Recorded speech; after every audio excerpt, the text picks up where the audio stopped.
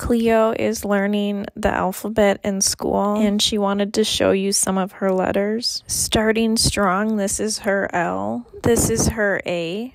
Um, this is her letter U. This is her O. Um, here, I think she's just throwing some gang signs that she learned on the playground. Clearly, this is her S, truly her best letter. This one's a little abstract, but it's an R. This is her F. Um, this is a W. Here's her C. This is her cursive E. I am not familiar with this letter. I think it's Spanish. This is her J. Her best attempt at a capital G. Here we have a capital H that goes right into a lowercase p. This is her um, letter N. Here is her I. She's working on this one, but it's supposed to be a capital T. And lastly, Z.